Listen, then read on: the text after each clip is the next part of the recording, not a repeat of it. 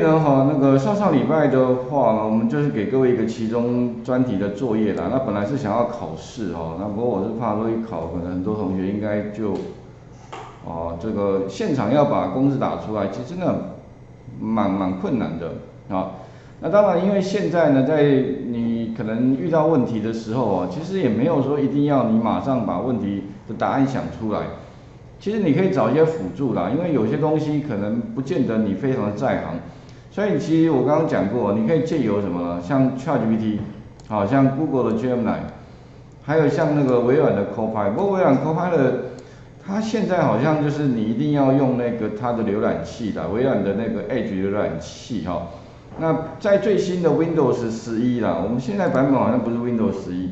，Windows 十的样子。如果你 Windows 十一的话哈，它的右下角会出现一个 Copilot 的一个小图示。那你按一下哦，Copilot 就出来了。我发现 Copilot 它现在已经把它 直接整合在那个 Windows 里面了哦，这个部分其实相当的不错哈。而且 Copilot 好像跟其他的两个那个 AI 有点不太一样的地方，就是说，哎，它可以除了可以帮你产生公式、产生文字之外哦，它其实可以帮你产生图档。它有一个呃智慧型的一个产生，就比如说你想要产生什么样的图档啊，你可以在上面。让他知道，Copilot 会帮你产生的哈，这个我想是目前这几个 AI 之间的差异了哈。那当然我是希望说你们哈，哎，就是说利用那个 AI 生成，呃，比如说呢产生公式啦哦，那因为你的问题丢给他来说，他会去帮你思考到底用哪一个哪些函数哈组成的公式会是最恰当的，哦。那这个部分的话，我是觉得大部分问题应该可以解决啊。不过少部分我发现可能因为你的叙述不是那么清楚的话，它可能也没有办法百分之一百帮你完成啊。甚至呢哈，很多同学有反映说哈，哎，就是像微软的 Copilot 有个很大的问题，就是呢你丢给他的问题哦，他即便不知道哈。但是他好像也会丢一大篇一大堆东西给你，但是最后你会发现他给你的答案其实是不正确的，哦，那这个部分的话呢，可能你就要在那个叙述里面哦跟他讲说，如果不知道哦，那就不说不知道就好了，哦，他其实 AI 他会知道说，如果假设不知道，不会随便丢一些东西给你的哈，那再来其其他部分就是说，如果发现错误哦，比如说公式你一一直乱，哎习惯就是发现错误的话。其实你还可以再借由 AI 哈，比如说再把公式贴回去，然后呢，请他帮你找出错误。哎，有的时候因为你一执行发现错误啊，你也不知道哪里错，哎，其实他会帮你找出错误啊。这个我想，他丢给你东西有问题，你再丢回去给他，请他帮你检查。哎，其实他也也修正一下，或许呢哈，也可以达到相对是正确的答案哈。再来就是说呢哈，那个公式啦或者程式里面假设呢。有一些问题的话，哦，你看不懂啊，没关系，你可以哦，请他解释一下。哎，请问一下，这个可不可以帮我详细解释一下，到底这个公式是什么意思？哎，他会帮你列表。尤其我发现那个 Gemini 哈，哎，这个 Gemini 它其实哈，现在做出来的好像感觉越更详细一点，而且它列表列的还蛮好的，我觉得。那它跟那个 ChatGPT 最大的差异啊，哎，就是。有的时候那个 Gemini 哦，它不会有那个简体中文的问题，或者是对岸用语的问题，因为有时候哎发现奇怪，为什么有些东西都简体字？好，ChatGPT 会有这种问题，但是那个 Google 的 Gemini 哈有另外一个问题，就是它呢有的时候会给你的是繁体中文，有的好像有蛮多同学反映说，哎奇怪，得到的结果会是居然是英文的，哇，他觉得英哎奇怪怎么会是英文的哈？OK。你明明问他的是中文，但是他回答给你是英文，那显见哈，Gemini 可能还有地方哈还没做好，我觉得啦，可能还是可以再进步。那其他的话呢，当然你甚至可以哈把那个公式哈转换成 VBA 啊，比如说你这个做法，哎，这个呃公式产生了，但是你希望让它可以用 VBA 去去去执行的话，哎，那你其实还可以再跟他讲说，请你把帮我把这个公式哈。转换成 VBA 的程式，哎，它其实也可以帮你哈，把这个呃程式给产生出来，OK 哈。当然了哈，你如果用 AI 用的越多哈，当然分数越高，这个是我评分的一个标准啊。所以如果假如说呢，我发现蛮多同学很认真哦，就特别把每一个这个呃，我我举了三三个 AI 的一个平台都去去串，而且甚至把图给截截录下来，然后去分析哈，这三者之间哈，到底哪一个有它的优点，哪一个有它的缺点？那最后呢，甚至还有排名的啊，比如说有的人会认为说哦。最好的可能是 ChatGPT，第二名可能是呃 Gemini，第三名可能是 Copilot，那各是哪个地方啦？优缺点他会把它列举出来，哎，我觉得还蛮好的。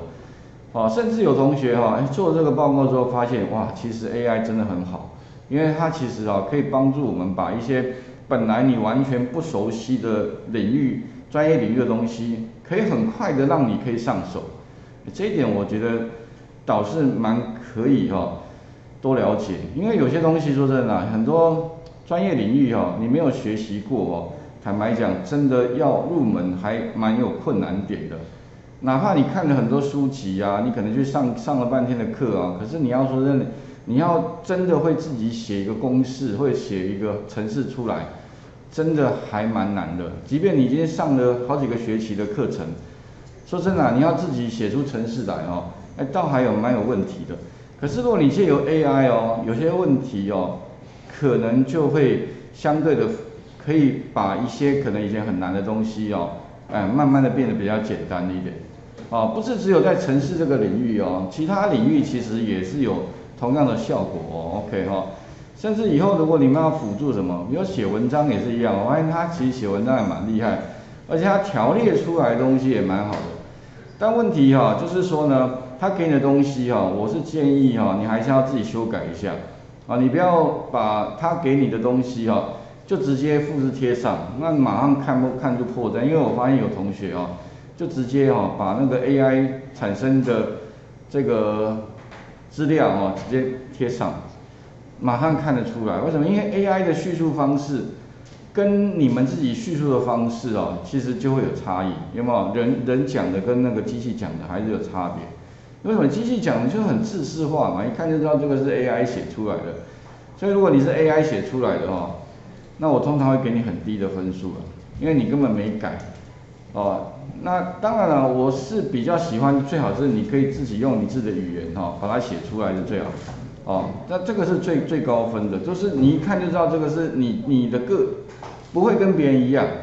但是如果你假设是用复制贴上的话，那我会给你蛮低的分数哦。OK，那个这个是看得出来的哈。诶，所以理论上呢，这个分数我已经把它交出去了啊。其中评量的部分，基本上是你其其中报告的成绩。但是学校要求的不是分数，而是 A、B、C、D 啊。所以如果你假设 A 的话，意思就是你是八十分以上啊，到一百分哈。然后 B 的话呢，就是七十到八十之间。C 的话就六十，等于六十几分了哈，六六十到六十九哈。那 D 的话就不及格，OK 哈。所以如果你假设，诶，我我已经把成绩送出去了哈。所以如果假设呢，你们有成绩上的问题哦，可能在自己再提出来了哈。那基本上我们这个学期所做的这个相关的练习啊，其实都相当清楚了。因为至于要交什么作业啊，还有你们期末。的成绩呢，其实跟你作业成绩很有关系哦。OK，所以我讲过了四个成绩嘛，哈，出缺勤哈，所以你记得哦，今天来一定要自己签到，如果忘了签到的话，呃，可能下课的时候再来请你们助教学长哈帮忙，啊，帮你补补登一下，OK 哈，然后其他的作业了啊，作业不要不交，然后期中成绩跟期末成绩，这个做你的你的成绩了哈。那再来的话呢，我们今天就接着来看其他的范例。那所以呢，嗯，上一次上课啊，我们是举那个这个机车窃盗哈，OK 的那个点位的统计了啊，所以知道说到底台北市哈哪些地方呢是最容易这个哈失窃的哈？比如说，当然第一个啦，数量有没有历年来的增加哈？是越来越好还是越不好？再来的话就是说呢哈，呃。哪一个区哈？等于是台北市的十十二个行政区吧啊？哪一个区是窃盗案件最多？另外的话，统计呢，路街道哪一条路或街或道哦，那个失窃率的这个失窃的数量是最多的哈。那影片其实都有了，所以每一次上课我也把影片录下来哈。剩下来的就是你可能要自己再回去把它稍微消化吸收一下哈。这点我倒是觉得同学好像还蛮能接受，因为我发现很多同学上课可能没有办法很百分之一百的专注啦，可能有些地方漏掉了。那回去的话，好像你们新的报也有写说哦，他其实回去哦，因为借由还好有影片啊，不然我发现很多同学应该都会不知道干嘛啊，因为我上课也可能讲了，但是你可能有有时候漏听的，然后不会做，那没关系，你可以自己再回去把影片稍微看一下，哎，发现好像有同学就是一直把那个我可能讲了，但是你没有注意到的，再把它这个呃重复把它跟着做哦，哎，发现效果其实还蛮好的。所以我觉得哈，未来你们在学习新的知识的时候哦，那可能第第几几个重点嘛？第一个你可以结合 AI 辅助嘛哈。第二个的话，其实你可以在 YouTube 上面找很多影片，你会发现，呃，你要学什么并不困难，剩下哦就是你要愿意花一点时间，然后花一点巧思，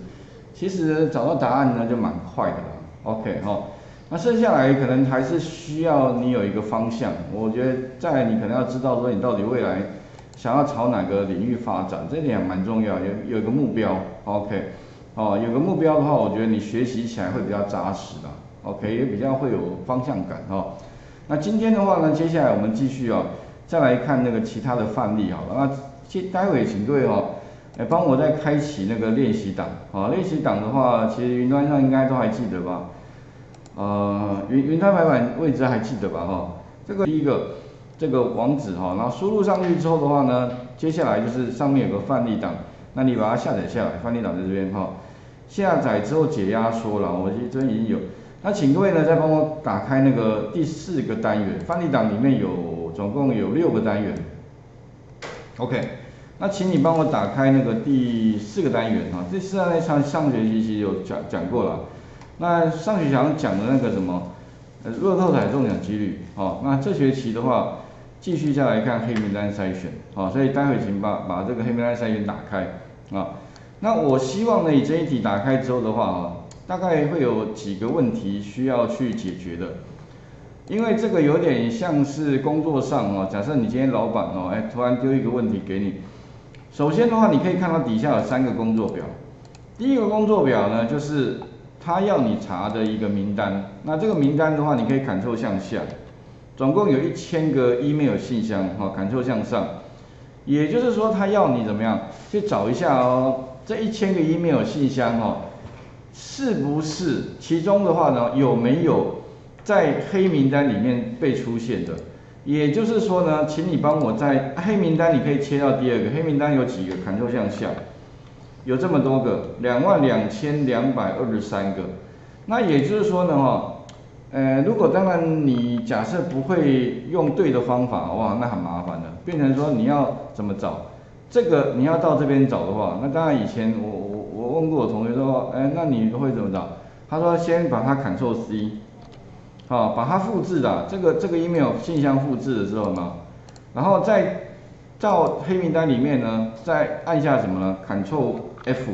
或者是用什么常用里面有寻找，这边有个寻找的哈。然后把 email 贴上去，按下寻找，或者全部寻找啊，寻找下一个。那如果是的话呢，它就在这边哈出现啊。当然它也可以向下来找找看有几个，理论上就最只有一个。它如果是的话呢，它就在这边输入一了，表示说哎有找到一个。那再找下一个，再找下一个，再找下一个，哇！那如果总共一千个哦，你要找一千次的意思。问题这样子太太浪费时间了嘛，啊，不然怎么办呢？有没有比较快一点的方法？好，所以今天的话，我是希望哦，能不能用比较快的方法，把问题的答案快速找出来。那当然呢，这个地方哈，你就可以用什么方法找到呢？诶，想一想有没有什么函数，就是可以帮你比对的哦。诶，所以以后你只要遇到。一个一个范两哎，应该算两个范围的资料要比对，或者甚至新的资料跟旧的资料要比对的时候，那其实哈，你就要想到某一个函数，它就可以帮你完成这件事情啊。那第二个是说呢，如果你找到黑名单，在一千个里面是黑名单的，请你把那些黑名单集中在这边，OK，好，也就是说了哈，这个是黑名单嘛，所以你把这个黑名单的结果把它贴到这边来。哎，那当然呢，这个如果土法炼钢来做，哇，那做一整天都做不完。可是呢，如果你要你会用对的方法，说真的啦，哈，将来我们是希望一个按键按下去，这件事情就完成了，一秒钟都不到。OK，那怎么做？就是今天的重点，哦，所以请各位先帮我把黑名单筛选的这个范例打开，它在范例档案里面的第四个单元，好，黑名单，那画面先换给各位一下哈。